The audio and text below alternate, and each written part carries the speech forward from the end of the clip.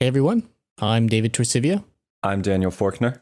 and this is Ashes, Ashes. So, we have been talking about climate change recently, but today we're going to be talking about the surveillance and tracking that goes on in the real world.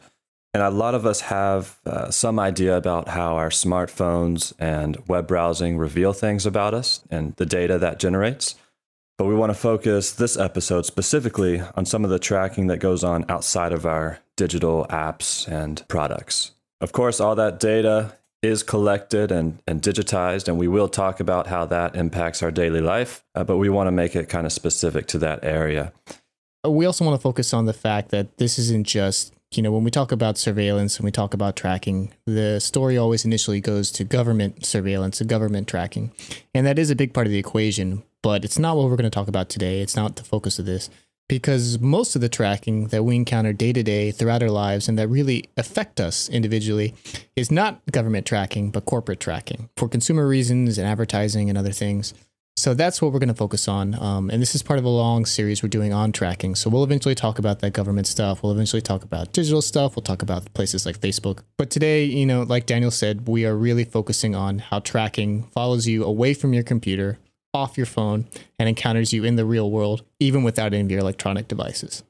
And I'm glad we're going to be breaking this up over several episodes because when you start looking into it, you realize how extensive it is and just how much is going on. It's it's really hard to even know where to begin in making sense of all this. And Yeah, I mean, this is really an industry worth hundreds of billions of dollars because it's interconnected with advertising and data analytics and everything else.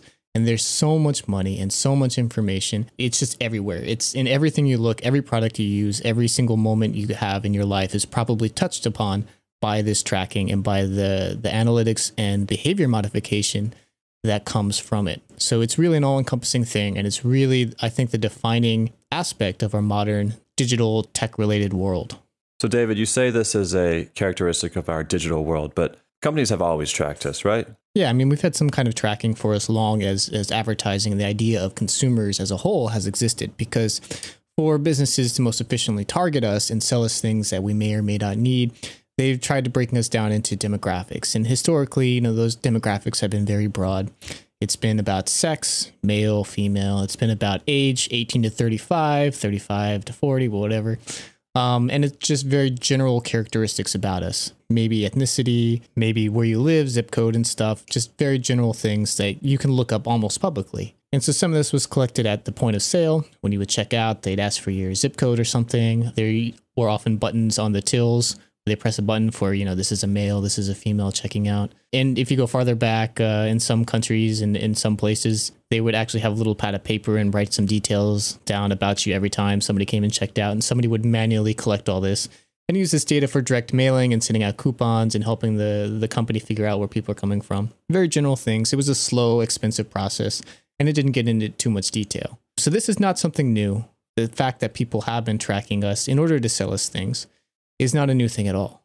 And so basically, we've had this kind of demographic tracking, right? Or the attempt has been to categorize people into groups and to figure out how to effectively market to different areas of people, right? But I guess the digital component of this has allowed that to become more individualized and more personal.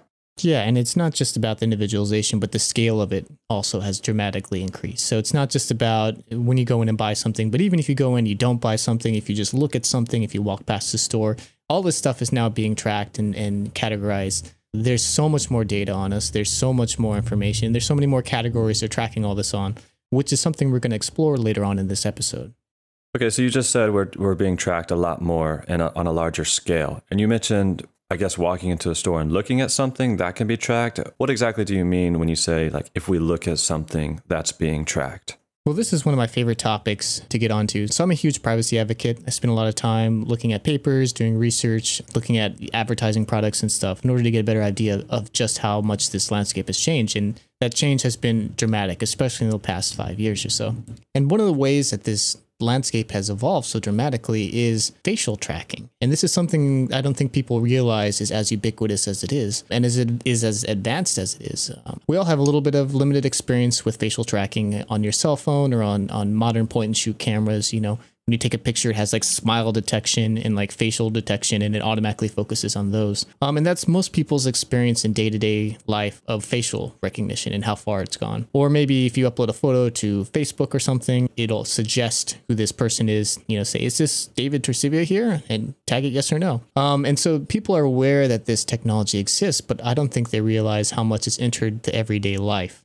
I mean, it's very common to see like security cameras outside office buildings, and you walk into a bank and there's cameras on the ceiling. But I imagine a, a, facial tracking camera would be pretty expensive and kind of hard to implement in lots of different places.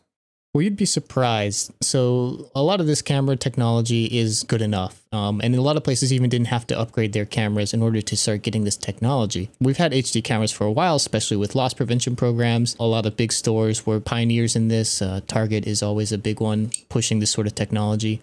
And so the way these systems work is yes, you can buy them with new special cameras that are optimized for this, but they've also devised ways that they can hook all these cameras up to a computer on the back end and integrate this facial recognition technology all at once. Um, so you can just walk into a bank or a restaurant or a bar or a church even when I've seen these these sold and marketed to churches and and pitch this idea where you take your already existing camera technology route it instead of into recording for security purposes and instead route it into the system. And next thing you know, you're analyzing everyone's face. People walk in, it recognizes that you are a woman, 18 to 35, and you look happy right now. And you spent this many seconds looking at this section, and you spent this many seconds glancing at that. And you can see readouts of all this data, analyzing your emotions and your micro emotions second to second, automatically throwing you into demographic classes, and analyzing exactly how it is you interact with the store, with the displays, and with everything. You're saying it can tell what my emotions are? Yeah, so a lot of these technologies use machine learning, which is one of the big buzzwords people use all these days. And it means more or less that this uh, they write this sort of vague algorithm that teaches a piece of software to learn and recognize stuff. And then run through lots of emotions called training data and they, they keep showing it pictures and say this is a happy person and this is a sad person and this person is is angry and whatever. And, and they keep showing these like very simplistic emotions over and over but hundreds and thousands and tens of thousands of different images and letting the the computer learn to recognize these things. From all these different points it, it tracks and follows on our faces. And over time the software learns to recognize new pictures and new videos that come in and automatically classifies this and some of these companies advertise this facial recognition tracking services and not just learning about emotions, but um, offering data on IQ, on impulsiveness, likely jobs and stuff. And it gets really into this almost pseudoscience phrenology esque ideas. Um, it's almost like we're back in like the 1920s and there, there's someone out there with a caliper measuring the size of your skull, deciding if you're like an intelligent person or, or a mongrel race or something. That's pretty scary. I don't like the idea of being judged on my emotions and IQ. I try not to, you know, tell people about my IQ. I'm a little embarrassed about it. But what does all this mean in terms of my experience? So I've been walking into retail stores, you know, ever since I can remember, but I don't feel like the experience has changed that much. I mean, I walk in, there's shelves, I buy what I want and I leave. What use is analyzing my facial expressions and what I do within the store to the retailer? What what can they do with that data? Well, it depends on how far they've they've worked on integrating these programs. So some stores, um, and this is the ultimate goal, and a lot of them would love to get rid of the hard price tags you see on everything. When you walk up to a shelf, there's a sticker there that says this is nine ninety nine. And they would love to switch to sort of digital pricing where they can update these tags dynamically all at once. And the idea then ultimately is that they would love to customize prices for who you are. And if they analyze your face and discover you look wealthy, or uh, like you have a good job or you're in a good mood or something, they're going to charge you more money. And if you look unhappy, if you look like uh, you might not have as much, you can't pay as much, then they might charge you less. Or if they don't want you in your store, they'll jack everything up really high to get you to leave and go somewhere else so you don't come back and hurt the shopping experience of other consumers. And we're not quite here yet. There's some stores that are demoing very early examples of this technology. We're not anywhere close to it on a wide scale, but this would not be surprising to see in five years, and certainly by 10 years, it's going to be commonplace. But it's not just that. So, this data is also used for digital advertising. So, say you go to a store and you spend a long time looking at some product, and you ultimately decide you don't want to purchase it for whatever reason. Maybe you don't really need it. Maybe you decided this is not the right one. Maybe the price isn't right here. And you leave and you forget about it, and, and that's it. You've gone on your merry way. But they've tracked this and they know all sorts of things about you based on how you looked at it, how you interacted in this facial analysis. And they've collated that with other data they have on you based on information your phone carries, or say you purchase something else and they can link it to your credit card and then your phone number and then everything else about you. And the fact that you looked at this product now follows you. So you go online, you log on to Facebook, you go search for Google. Your results and what you see changes based on, on what this store is targeting, knowing that if it can just show you this specific type of ad, or if they can shift what kind of news stories or what you're seeing on your friends' profiles, then they can change your behavior and get you to purchase something that you've already decided you didn't want to buy at the moment. And by modifying what you see and what your world is around you, ultimately they're able to modify your behavior and capture that sale and, and extract that money from you. And this sounds insidious, and I mean, it sort of is. Ultimately, all this advertising, all this tracking and stuff is about this behavior modification. And we have all sorts of like PC words for that. Advertising, ultimately, at its core, is about behavior modification on both a personalized and mass scale. And and some of these when you go read the uh, ad copy of these websites like pitching these facial recognition software they're open about this and like we can help you modify the behavior of your customer in order to extract more money from them. And they say basically that point blank which is almost sort of refreshing that at least they're honest about what they're doing. I still find it pretty unsettling. I mean i've never liked billboards you drive down the street you see all these billboards but at least i feel like okay i know they're trying to you know, sell me the fast food joint down the road. And I feel like I have a choice where I can say, no, I don't want to do that. Even though there are like subliminal attempts to get my attention, like I've heard that the color red makes people think of food. So, but all of it is out in the open. I feel like I have a choice to reject it. But this sounds like I don't really know that it's going on. Like I can look at something in the store and then that somehow, how does that get to my phone and, and what I see on Facebook? Well, we'll talk about the process of how that information propagates and is spread out and bought and sold and traded and, and combined with other things and ultimately used to change your behavior. But uh, you mentioned billboards. I want to bring this up for a second. So maybe you start seeing these digital billboards pop up, both um, you know screens in stores, advertising in like their windows. If you live in a, a larger city, you you've definitely seen small digital billboards on like the sides of bus stops or on the street corners. Here in New York, we have this like free Wi-Fi kiosks that the city has has built. And the city actually didn't pay for any of these. They were built um, entirely by advertising companies who put up all the money for it in exchange for building these billboards all over so they can advertise to people. But they also built cameras into these billboards, and they analyze you as you walk by and you look around on them. Um, if you register to use their free gigabit Wi-Fi, then it tracks your email address and your phone MAC ID, and it follows you as you go around the city to see where you spend time, what stores you go into. Um, and then it, it tracks your face and it knows what you're looking at and it can tell when you're approaching and it changes the ads that's shown on this digital billboard in the real world to specifically target you where it says oh this person is likely going to the shopping district right now they're going to stop into h&m let me show them an ad for that or let me show them an ad for zara and try to get them to go there or something. And this sort of advertising this tracking that we've gotten used to on the digital space and facebook and stuff where we come to expect these custom personalized ads is now spreading out and interacting in the real world and sort of shifting our experience of cities and of public spaces into something that's personalized for us in order to get us to spend money, in order to change our behavior and to get to us to do different things that don't necessarily benefit us, but benefit these companies that are advertising to us and trying to manipulate our behavior in order to extract, you know, that that money from us.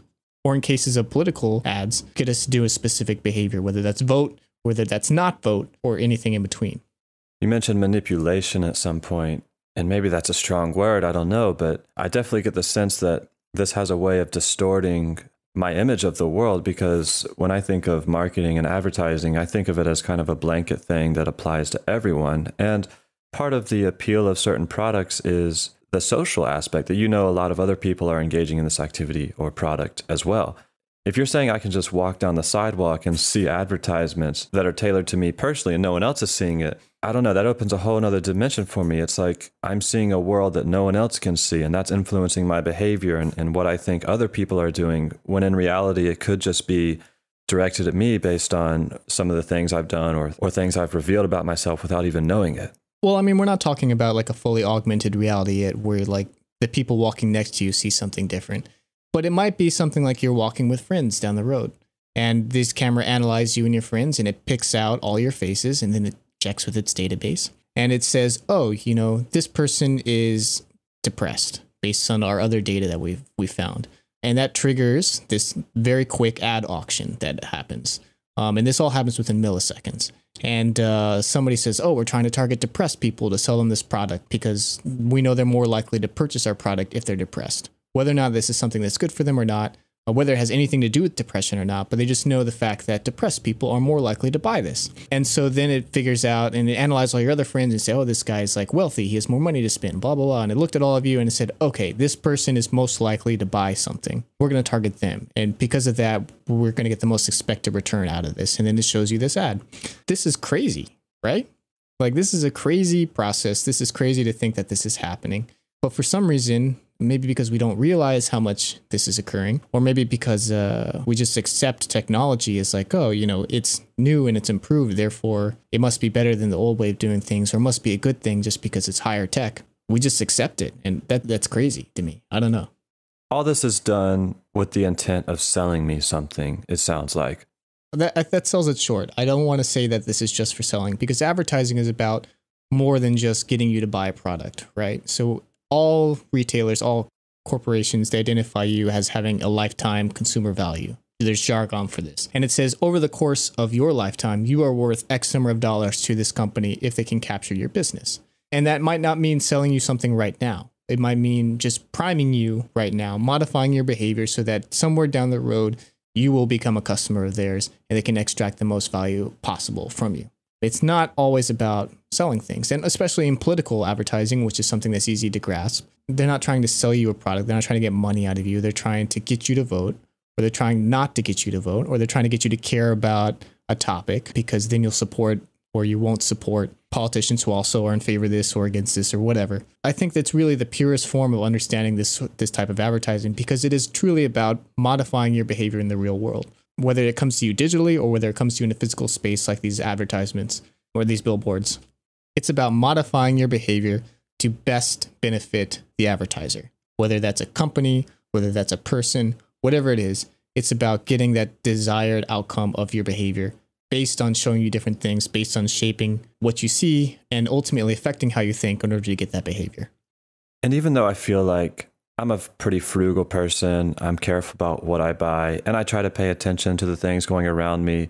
I do feel a little bit like it's overwhelming or, or almost like I'm powerless to to notice some of these things because I go throughout my day a lot and I'm zoned out or I'm thinking about something else and you know a lot of people have seen that video that was part of a psychology study where a man in a gorilla suit dancing around a basketball court while you know a basketball game is going on and, and no one notices the gorilla because they're focused on something else. And i do that a lot in life. I feel like there's a there's a huge opportunity to influence the things i'm doing and i just have no idea because there's just too much to focus on. Well a lot of this is hidden too. So maybe this is a good time to explore just like how this whole mechanism works because the actual companies themselves are ones you've never heard of. And they operate in ways that you can't see easily unless you're looking into the details of all this. So it might be best to spend a few minutes examining what this chain of tracking does and how it goes from watching your face in a CVS or recording that you walked past this place or you spent this amount of time here based on, on signals coming in from your phone or, or some of the more insidious trackers would say like oh you went to the doctor's office then you went to the back specialist and so we know that you're hurting and you're in pain. So, like, how can we take advantage of that? Every single thing you do is ultimately playing into this thing. And it's not even necessarily about like, we have cameras here, we're watching what you're doing. But every time you have any action that at one point touches a digital network, odds are somebody is scooping up the information from that, entering in a silo. Then that company's turning that, selling it to another company, which sells it to another company, which combines it with more information, sells it to another company, and then ultimately gets up to these like five or six mega data brokers. And then they turn around and sell this information to advertisers who use it again to modify your behavior, to get you to buy stuff, to get you not to buy stuff, whatever it is they're trying to do. And so let's take a look at that process for a second. So you say there's a process where all this data gets aggregated to these big data brokers or whatever. Um, so how is how does the data get pulled in in the first place? Well, maybe it's best to start looking at what types of data they're collecting because it's not just retail transactions. You know, like yeah, you went into the store and bought a Snickers at 1 a.m and that says something about you. But like that's just how, what we buy and stuff. It doesn't feel like such a huge invasion of privacy. But these data brokers and ultimately advertisers have access to a lot more information than we would guess, um, things that might be very personal. So, for example, there's a lot of companies that track your health. So they know that you have asthma. They know you have arthritis. They know that you're an alcoholic. They know you're addicted to gambling. They know you have some sort of sexual problem, whether that's uh, impotence, maybe you have no sex drive, or maybe you have an overactive sex drive. They track your doctor's visits. They track your prescriptions. They track uh, every time you go to any sort of doctor's office. Some of them can even track diagnoses and basically everything about your medical health history that they can get without violating HIPAA if they're in the United States. And again, this conversation is mostly relegated to the United States, so this is happening around the world. Um, especially, we'll, we'll get to the conversation later about what's going on in Asia because there's some really interesting implications of what this data can have that are already happening there, and we might find ourselves experiencing the same in the future here in the United States. But all this data is is collected in all sorts of things that we would find very personal. Financial data. So we, we're familiar with the credit reporting agencies, especially with that large hack Equifax just had. But you know, data on how much money you have, how much money you earn how much uh, your loans, how much money you owe people, how late you are on those loans. Things just past your credit score, but very detailed things about your life, the value of your vehicles, all sorts of stuff. And then the the last thing is is risk assessment. This is the kind of stuff we're familiar with in terms of insurance how you drive, for example, is a big one that insurance companies are trying to get. So, modern insurance tracking, they would love to put these boxes in your car that analyze how quickly you brake, whether you ever speed, you know, speeding a mile or two over the speed limit, which is something we all do. They would love to analyze that and see the fact that you do speed, that that puts you at a higher risk bracket and they can charge more money from you. And this is something that we see is going to be integrated directly into cars in the future. And it is occurring right now, actually, with these smart cars and stuff, with integration of Android Auto, with integration of, of Apple's CarPlay, um, and other smart cars that are connected to the internet. This data can be automatically collected and given to insurance agencies who then analyze this. It doesn't just end there, they take this and pass it on to other data brokers who then pass it on again and ultimately find its way to advertisers. So, all these things that we find super personal are actually being tracked and recorded. Okay, that surprised me though about the medical information. Isn't there some kind of doctor patient confidentiality? And I'm assuming they who you're talking about are, are, data companies and corporations. How do they get access to my medical information? Well, yeah, I mean, the conversations you have between your doctor and you are, are protected under certain things. There's a lot of details about your health that are protected, and there are very strong medical laws that cover all this. In fact, the HIPAA legislation, which is our Health Data Protection Act, is the most powerful piece of privacy legislation that we have in the United States. It's a really great start for what we should be basing off these other privacy conversations about when we're talking about legislative answers. But there's a lot of information that bleeds out. And so, this concept of data around the edges. So, maybe for the conversation about metadata before, um, when we were talking about Edward Snowden and some of the, the NSA leaks and stuff, well, the same concept carries over to this sort of commercial data. And all these little tiny bits of pieces of your life end up as data that sort of bleeds out. And taken as an individual piece, it's nothing to worry about. It's just out there. But when you start collecting all these little things, when you can collect from somebody's phone or from uh, these doctors' offices, which will sell some of this data to these data brokers or insurance agencies, like you go to this doctor's, you pay an insurance, then your insurance agency records some of this data, and then somebody buys this data from the insurance agency. And some of it is HIPAA protected, but a lot of it isn't. And they take all this stuff and they they analyze it and then finds its way to these lists. And you can actually you can go online and buy lists of people with with all sorts of medical problems in order to send them advertising. And it's cheap. You want a direct mailing list of like half a million alcoholics, or if I'm an advertiser, you know, half a million gamblers, which is a very vulnerable demographic. If I want to take advantage of them, it costs me a couple hundred dollars. This data is not hard to find. It's not expensive. It's it's within the grasp of anybody. Yeah, I actually looked at one of these companies that sells these lists, dmdatabases.com, and they have all these types of uh, categories that they put people in, and you can choose certain categories of people and send mailings to them or whatever or get the information. And I looked at the medical one and I was just kind of shocked. They have people categorized by addictions, gambling, alcohol, drugs, sex, they have ailments, just hundreds of ailments, multiple sclerosis, asthma, anything you can think of. And what also surprised me is they had a whole list of drugs. They said these are people who have taken certain drugs, and you can just select this list. And then you can further break it down by demographics. So you could select a zip code or an income bracket or an age, and then select. I want to target people that have taken this drug and who are also clinically depressed and antisocial and the layers and different customization you can do is really shocking. So let me just jump in there real quick because I want to emphasize just how many data points these companies record about each and every one of us. So in the past, when you're tracking somebody, you have very basic data. It's maybe 10 or 20 points. Um, you know, sex, age, maybe income, location, you know, basic stuff like that, as well as information on how to contact them. Now, it's routine for one of these larger data broker firms. Maybe you've heard of the company Oracle. They're one of the big players in this this area. They boast about having 30 to 50,000 categories that they place each and every one of us in. So this extends way past basic demographic data, but into every single tiny detail about you. Things that you don't even realize, things that your friends don't realize, things if you asked yourself. I mean, if you sat down and you said, I'm going to write 50,000 different things about myself, you couldn't do it. But this machine learning picks up all these details and data and tiny little signals in this noise of, of information to reveal a stunning amount of information about us. And then this information is turned around and used to take advantage of us. And when you think about data, I tend to think of a hard fact about something I did. Like I went into a store and bought something at such and such time for such and such price. And even with online services and retailers where, you know, they may tell you they don't sell your data or share your data with other people. But what I found out is that even if they say they don't share that hard data, they're still free to interpret it and categorize it and put labels on it and then sell that, which and oftentimes is even more valuable to these companies that are buying this data. For example, you know, let's say I go on Amazon, which is something I did recently, and bought an espresso maker at one o'clock in the morning.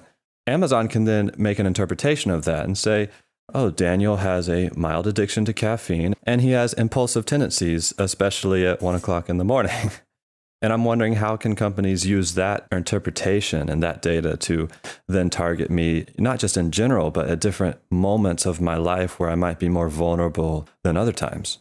Yeah, I, that's a really great example. And I think eh, the impulsive nature of that, especially, is one of these marketers' favorite categories to target but that that bleeds out a lot of information about you. It, it tells us, you know, like you said, that you're impulsive, that you buy things at weird times, so that they can advertise to you at weird times. It shows that you're up late. That means you're probably a later riser. All these sort of little details with this one purchase, which the facts are, I bought an espresso maker from Amazon at 1 a.m. and shipped it to this address, and I paid with this credit card or whatever. Someone becomes all these vague ideas about who you are, and they call this inferred data and that's predicting both who we are and what we will do. And that information about what we will do is used to show us ads or not show us stuff, or in the case of Facebook or Google, to customize our news feeds to show us more friends or show us more hard news or whatever it is in order to get that expected behavior to change our behavior from what they thought we would have done before to something that aligns with the values um, and the needs of these companies and corporations. We've been focusing a lot on purchases and advertisements, but I think we all like to think that we're kind of immune to advertisement. At least I feel that way a little bit.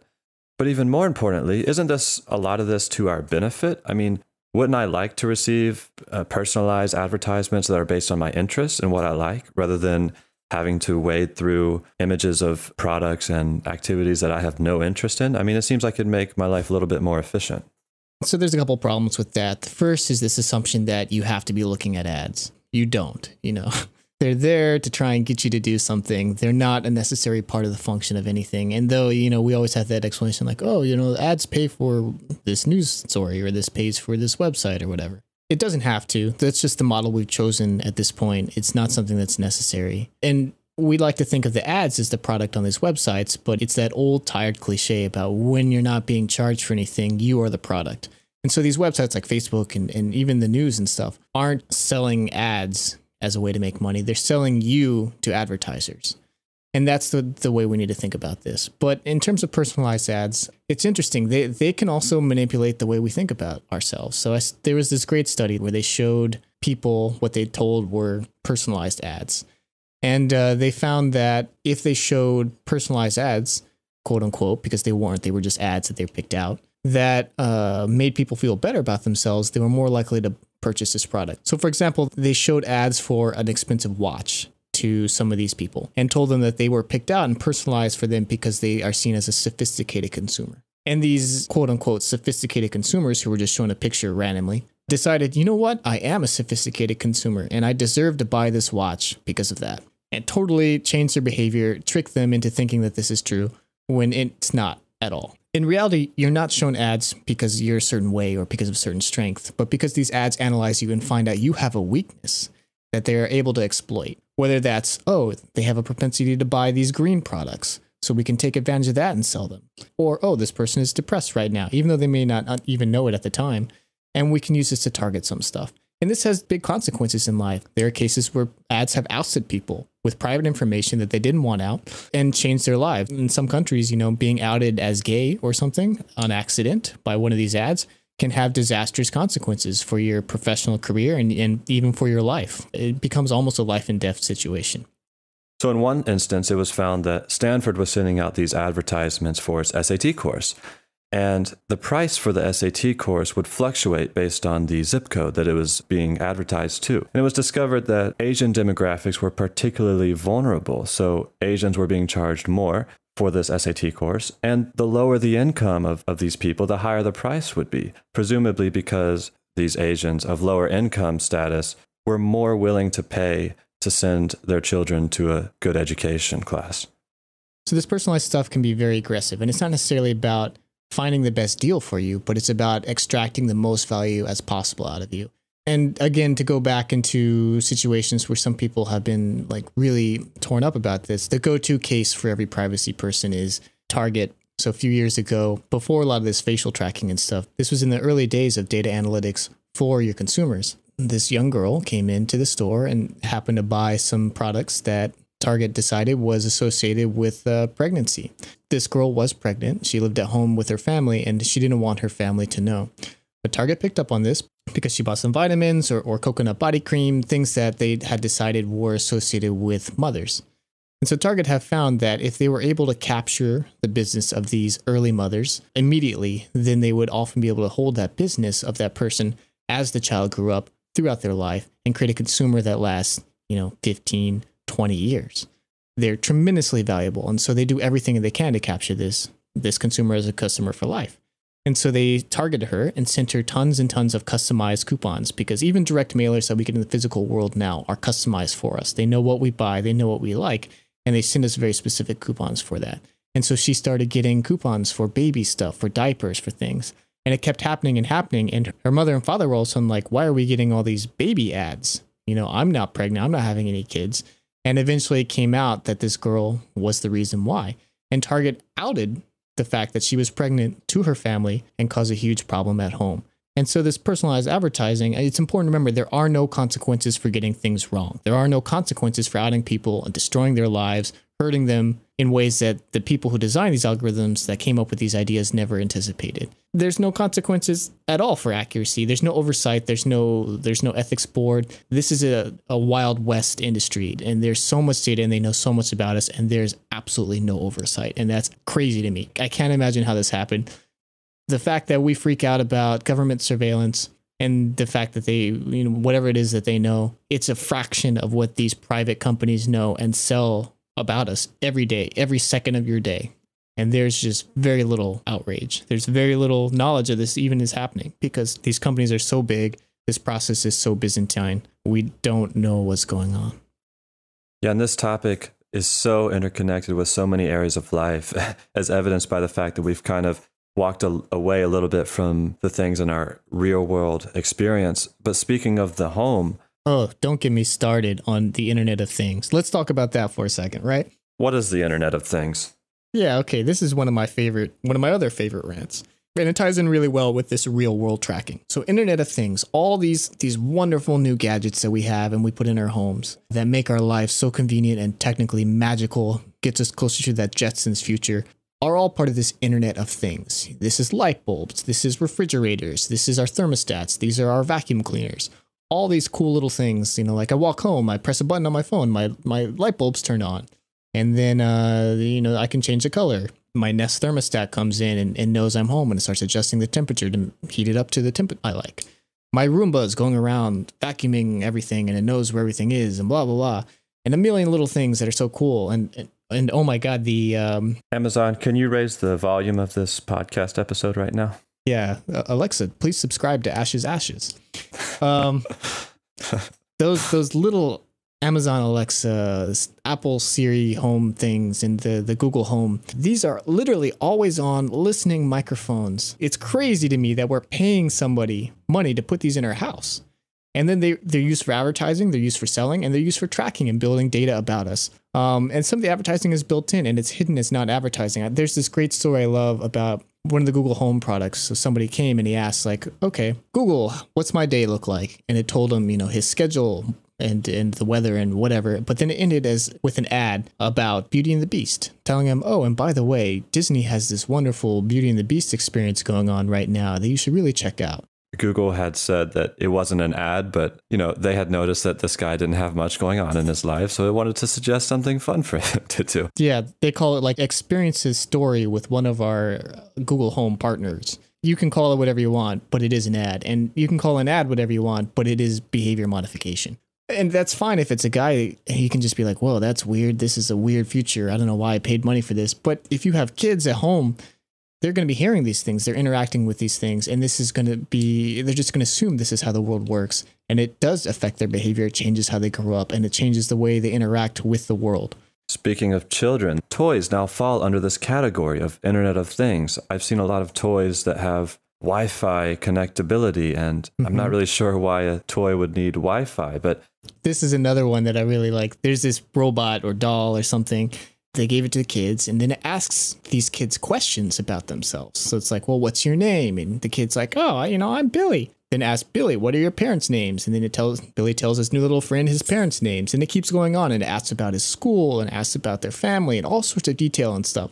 And then it turns out this is a, a toy made by like hasbro or a toy company but a robot made by an intelligence agency who is selling toys to people in order to collect data. And then oftentimes uh, the Internet of Things has terrible, terrible security because if the focus is on selling these products, getting them out cheap, getting them out quick.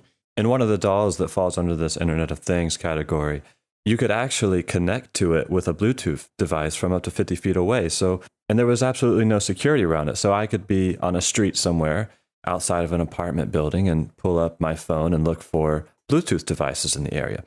And the doll would just show up as one of these devices with the name of the doll, you know, clearly a children's toy. So I could connect to it. And and because the the nature of this doll is um, you know, talking to the child and recording the child's responses, which is creepy enough as it is, because I'm now connected to this device, I can actually interact with it in the same way. So not only can I record what the child says to this doll, but I can actually record my own voice and talk to this child from, you know, 50 feet away through my Bluetooth device. Yeah, I mean, who comes up with these ideas? This is literally insane again. I feel like I'm taking crazy pills all the time when I'm reading these stories. Like, how is this allowed to happen? Who okayed the idea? The biggest thing my mom had to worry about when I was a kid was whether or not I played a violent video game. And now we have to worry about if a six year old is interacting with a toy that's secretly recording everything about him or her. And then a lot of this data ends up online anyway. So like we think it's only a conversation between the kid and the toy, and then we learn it's uploading it to the internet. So okay, now it's a conversation between the kid, the toy, and whatever company owns this toy. But then oftentimes these get hacked. There was a story recently, like five million of these messages between kids and their toys were just released, and this data is out there. Um, and a lot of it is resold to advertisers anyway. But it's phenomenal just how terrible the security is and how much we don't realize some of this tracking is, is going on with these devices. I mean, Roombas, it's a vacuum cleaner. It's supposed to vacuum, and that's it. But Roomba decided, oh, we weren't making enough money just selling vacuum cleaners. So now our Roombas are going to build maps of your house. These are the automated vacuum robots that go around. The little automated vacuum robots that everybody films cat videos with that you see on YouTube and stuff. But but they're mapping. They're little mappers now. They map out your house and they upload this to Roomba, and then Roomba sells this to advertisers who want to learn how big is your house, when are you home, how often do you vacuum, blah blah blah blah blah, all sorts of stuff about you. Um, even benign things like, oh, it's a Nest, it's a thermostat, it turns the temperature up or down, and it knows to turn it up and down at certain times. Very simple, right? That information is again part of this metadata. It knows when you're home, it knows, you know, where you are in the house sometimes. All this extra data that you think would be a benign thing, your your Philips Hue light bulbs, for example, it knows where you are in your house. You can assign like locations on these light bulbs, like, oh, I'm in the bedroom. This is a bedroom light bulb, and this is a living room light bulb. And so by doing this, now Philips knows, oh, somebody's in the living room right now. Somebody's in the bedroom right now. And this data becomes very valuable for Philips to turn around and sell to advertisers who can use this to customize the way that they interact with you. I've been seeing a lot of advertisements for TVs too that are being marketed as smart TVs so they can connect to the internet and your favorite streaming service. Are you saying that I have to worry about those as well? Yeah, and a couple of different ways actually. So one, these TVs are tracking what you watch. So when we think about tracking, oh, it's it's tracking what we watch based on information that's coming in off, you know, the cable. And so if I like play off my Roku or my Apple TV or whatever, it's not going to have that info, but they're actually analyzing the video that's on the screen. So even if you're playing like pirated content, movies you downloaded, it still knows what you're watching and it uploads that data and sends it off to Samsung or LG or Vizio and they turn around and sell that to advertisers. And they also work with companies like Nielsen, the the TV ratings and stuff, where they know how long you're watching, uh, what parts you watch when you turn it, you know, if you skip commercials, if you mute commercials, all sorts of detail and data that again becomes very valuable to advertisers. But even worse than that, they started integrating a lot of voice recognition for some reason in TVs. Most people don't even realize that their TV is capable of this, but almost all modern smart TVs have a microphone either on the TV itself or on the remote. And it's supposed to be like a cool, convenient feature, like, oh, change the channel, TV. And it's the TV does that. But they're also using this to listen and they use it for advertising. And it's right there in your terms of service when you register and you sign up for the TV and you click it. Vizio was just sued about this actually and, and lost because they weren't upfront about the data they were recording and they're recording more information than they said they were. But this is this is just the life we have to expect now. Anything that connects to the internet is connecting the internet, not because it's trying to do some sort of convenient thing for us, the convenience is a side effect of them just trying to collect data on us, to upload this online, and then to use that to sell to data brokers, to ultimately turn around and manipulate us in some sort of way. That is our modern world. That is the Internet of Things. And even if we don't want to interact with this, if we're somebody who is not buying these gadgets and these little tech things and not purposefully putting microphones to listen to everything we say in our houses, we don't have a choice because going around on the streets and stuff, we are now tracked we're watched, our faces are recorded.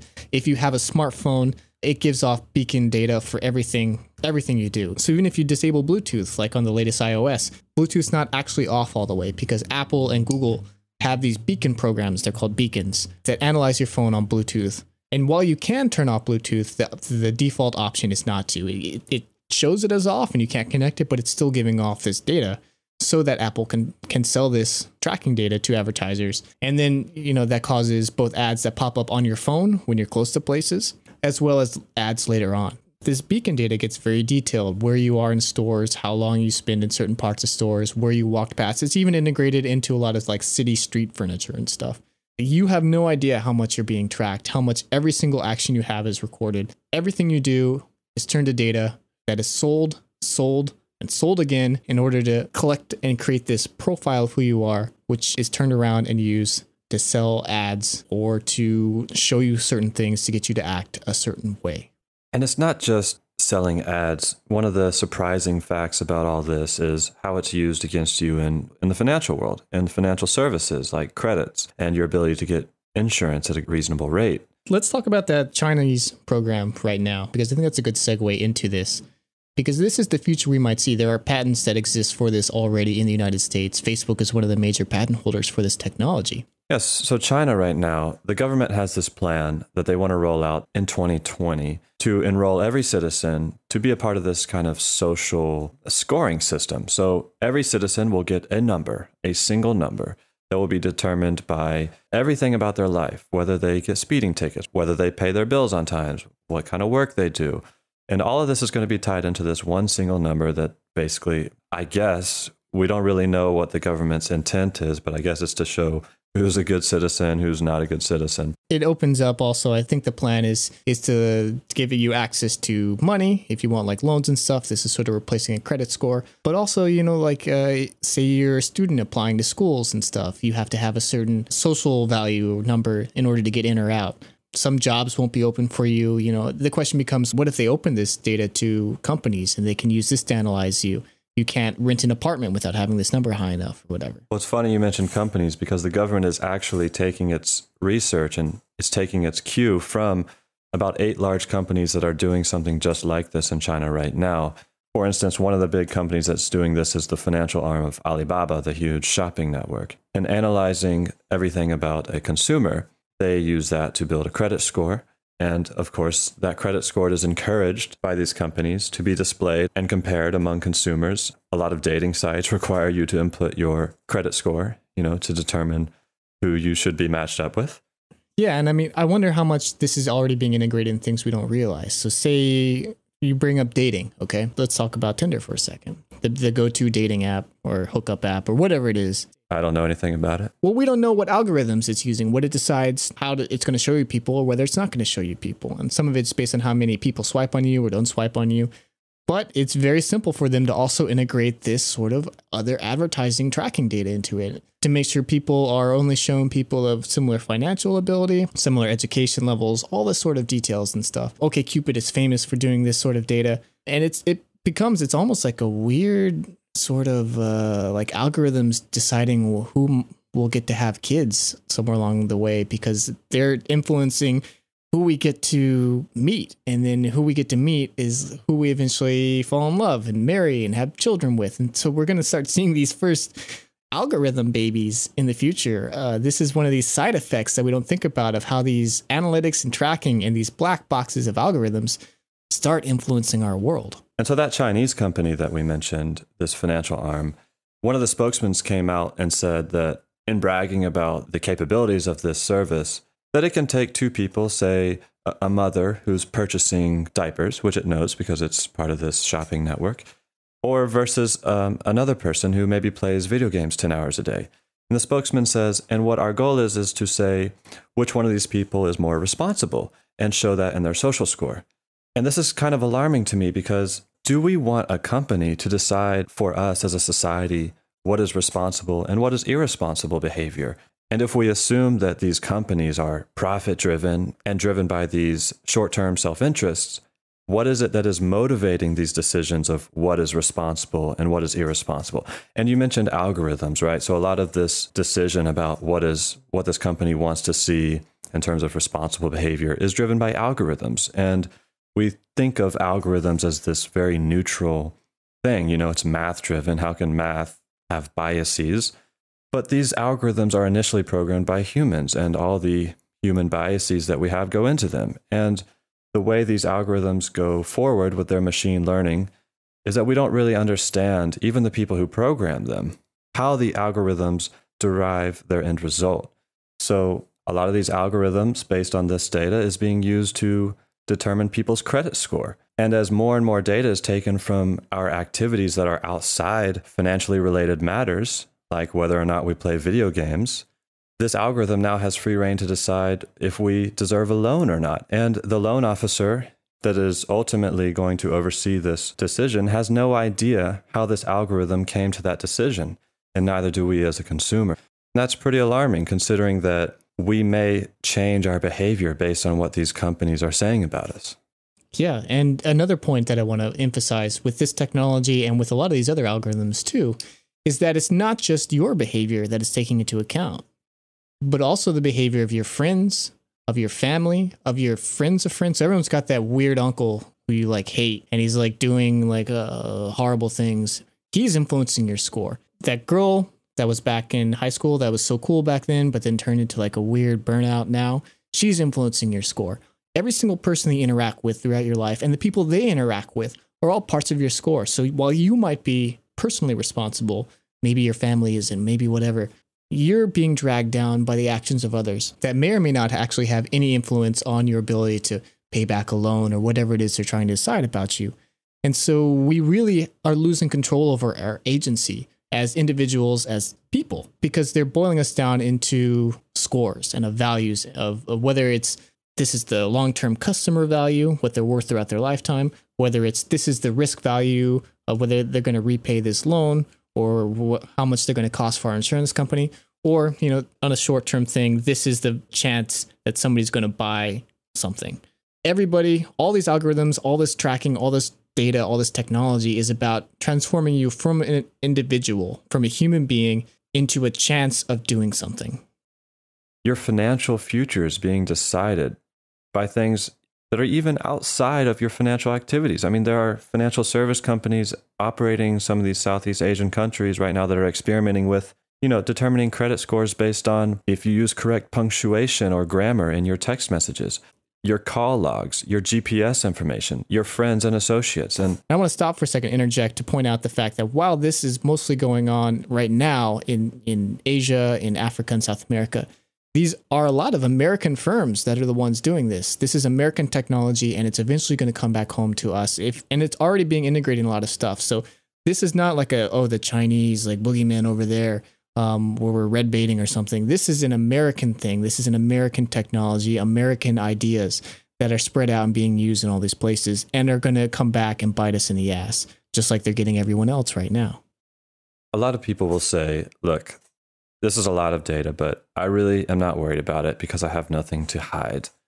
But it does seem like we all have something to hide. We all have a private life that we'd like to think is hidden from view from not just the public, not just strangers, but even our most closely intimated relationships. You may have a, a partner, a wife, or a husband, and maybe when that your partner leaves the house, you like to jam out to your favorite rock song in your underwear. And not something that I like to do, but some people do that. And that privacy is very much a part of our life. And even the things that we do disclose to some people, we don't disclose to other people. So there are contexts for our information. We tell our banker something that we would never tell our doctor. We tell our doctor something that we would never tell our best friend. And so we have that expectation of privacy and contextualization. But what these companies are doing in tracking every single moment of our lives is breaking down those contextual barriers and aggregating this data into a single source, a single database that's where this privacy violation really comes in and starts feeling actually like I'm being violated because they're taking information from my doctor and combining that with information from my banker and taking things that only my friends maybe know about me and rolling this all together to know a more complete picture of me than anyone else knows.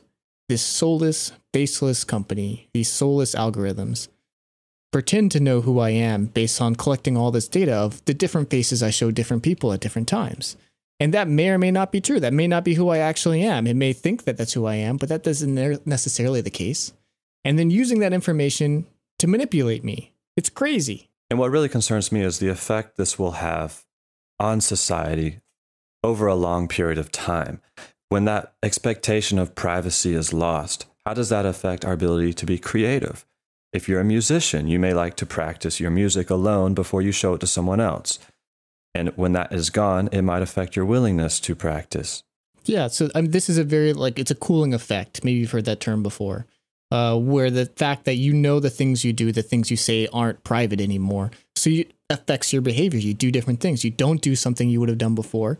Um, I'm already seeing like kids now. So there, there's a, a website. Okay, I was doing research for this episode. I came across this service called Social Filter, and it analyzes your social media for things that it thinks might be a problem for you, whether you're applying for schools or jobs or stuff. And a friend of mine was was testing this out, and he tweeted something vaguely political. Very mild tweets. There is nothing that would rock the boat. He wasn't like calling for a socialist revolution or like some sort of weird Nazi thing or whatever. It was a very mild thing.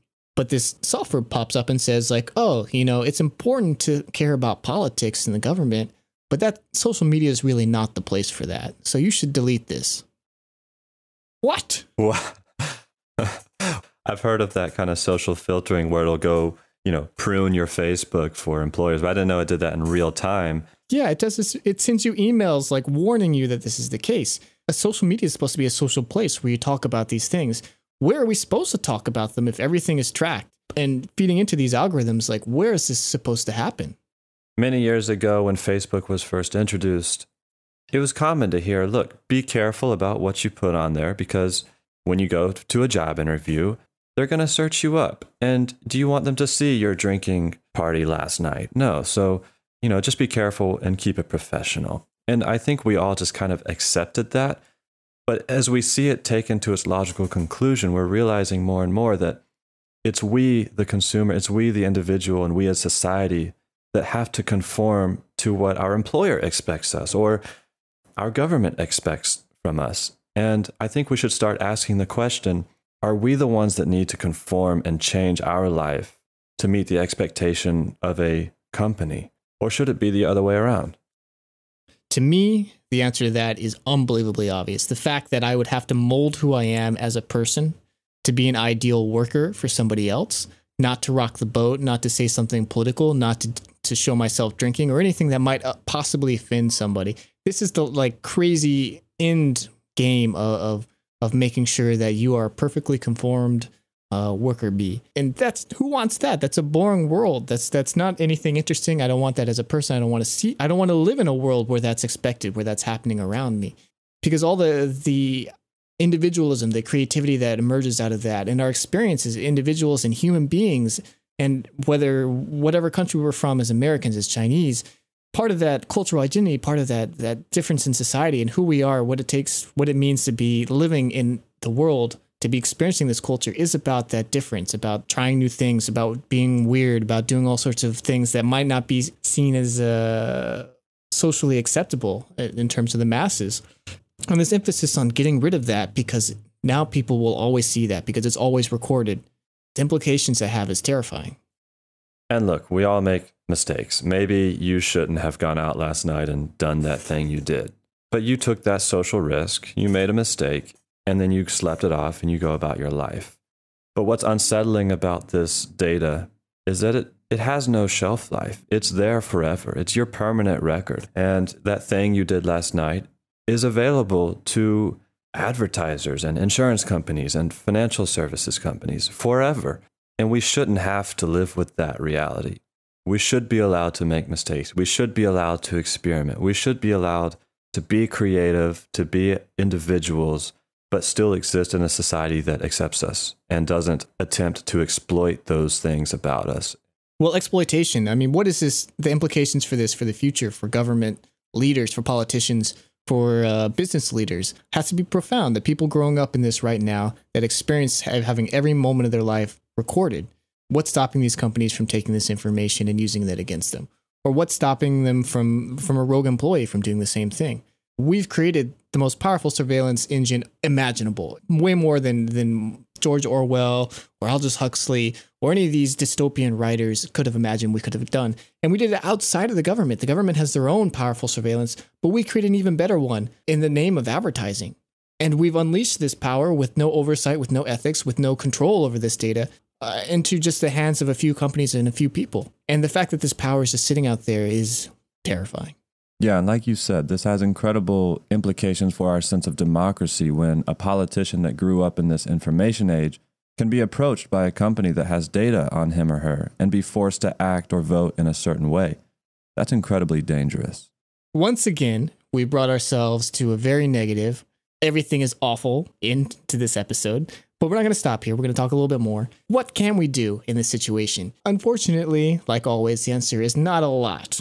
In terms of legislation, there are some answers. Europe has some good privacy laws, the right to be forgotten, for example, which is a step in the right direction, but they still have this sort of consumer tracking there. Maybe it's not the scale or as personalized as we have here, but that doesn't really matter because, like we pointed out, metadata reveals a lot about us. Again, it only takes about four pieces of random information in order to identify 90% of users. And that's four pieces of data. We have 30,000, 50,000 pieces of data. The cat's out of the bag. We've opened Pandora's box. It's not going to be shut again in terms of legislative action without shuttering these companies and stuff. So, what are our options?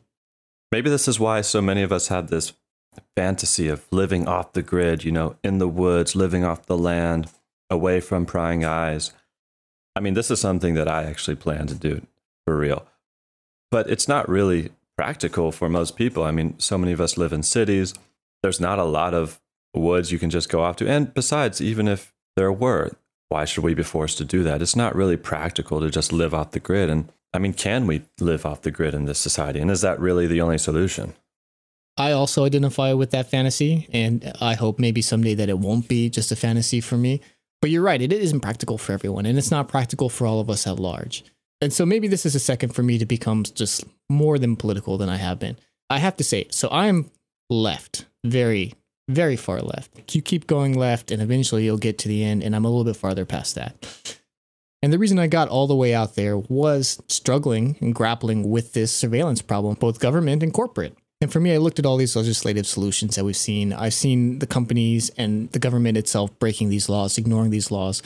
And I came to the conclusion that I think the only way we can end this, that we can get around this, again, because this has already been let out, there's no putting it back in and getting rid of this technology, is by eliminating the incentives for it. So this tracking gives two big incentives to have this data, to record all this stuff about us and keep it forever. One is economic, in order to sell stuff to us and change our behavior. And two is uh, power. So the political aspect of it, in order to influence elections and things, but also to influence the behavior of people. The only way to get rid of this is to kill those two incentives. And the only way to kill those two incentives are one, to restructure the economy so that there is no economic incentive for it. And of course, yes, that means some sort of communism or other alternative to capitalism. Sorry, all you entrepreneurs out there. And two, to create a power system that doesn't reward the consolidation of power. Yes, that means that our current political system and the way our world is structured at large is not compatible with this. We have to look to other alternatives. And there are them out there, and maybe that's a conversation for a different time. But our world has to be dramatically restructured in order for us to get away from this panopticon that we've built. That's interesting, David. I'd be curious to know if there's other solutions besides a total restructuring of society and economics and our political structure. And maybe that's something we can talk about in the future. You know, that's something I'm also questioning and trying to figure out myself. I would love to know those solutions too, Daniel, but maybe we can figure them out as we go forward. Again, this is not the only time we're going to be talking about tracking. There's a lot more to discuss here. Believe me, we've only just barely scratched the surface of any of this, and we're going to dig very, very far down into this whole world. We're going to talk about the actual mechanisms of this. And oh, are we going to spend a lot of time discussing Big Brother Facebook? Well, I'm certainly excited, and I hope everyone is too. We've definitely got a lot more topics coming up that we're excited about. Again, we hope you join us. Tune in next week. And if you want to read more about any of this, if you want to see some of these creepy facial tracking videos from these advertising beacons, if you want to look at the research studies on metadata, or any of these other links that we've gathered and collected and read through in order to start researching this episode and this series, we have those on our website at ashesashes.org under the name of this show permanent record. And you can also find us on your favorite social network where they track all of us at Ashes Ashes Cast. I'm eyeing my vacuum cleaner right now. It's sitting in the corner of my room. I see it in a whole new light now. As you should, and as you should with every part of our new digital world. Until next week. Goodbye. Goodbye. Goodbye.